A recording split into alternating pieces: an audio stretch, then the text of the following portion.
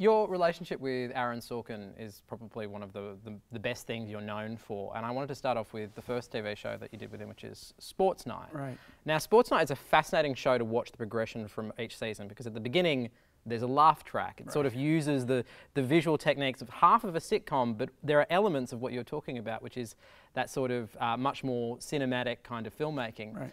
Tell me about why the laugh track was there in the first place. Because we lost the battle. Really? So yeah, absolutely. Walk me through. There's actually a, there's a great article in the New Yorker magazine um, that a guy named Tad Friend came and sort of watched us at the beginning of that show for reasons we didn't quite understand, and it was all about our battle to drop the laugh track, mm. to do this half-hour television show. The way I got the show was I met with Aaron. I had read the script. I loved it. And he said, How would you ground it a little bit more? And I went there and I said, Here's how I'd like to do the show, which was exactly the way we ended up doing the show by the time we finally. We never won the battle with ABC, but we got it, closer. It disappeared well, gradually. Is, it's yeah. basically the end is Uncle Morty is laughing in the background. There's like one guy.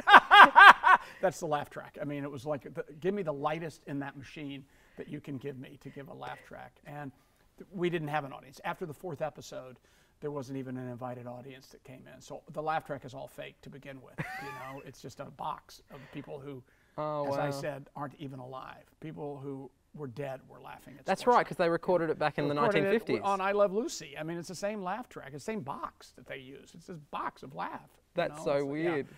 And it was always so creepy for Aaron and I in mixes when we were had to have to put those things in and laughs from beyond to, the graves. Yeah, and we, but we fought them. We, we even shot the pilot with the laugh track. It's actually a, a, great lesson I learned because at that time I was still, you know, hired by Imagine and television, and they, they were like, like, we'll do it with the laugh track, do the pilot that way, and then let's get on the air, and then maybe we'll win the battle. Mm. And what I learned after that is win the battle before you get on the air because you'll never win it after you get on the air. Mm. So, uh, but we took the pilot and stripped we had a live audience for part of it. You know, look, the whole, you know, I did so much of the Steadicam work, and it was a lot of walk and talks in that, you know. Uh, but that uh, we stripped the laugh track completely off the show, and then presented it to ABC, and we said, test it, mm. just test it, see if it tests the same as the one with the laugh track.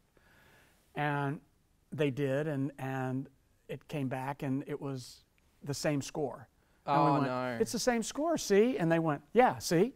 It doesn't help you any. No, so let's keep it, let's keep the laugh track. So we just didn't win the battle at all.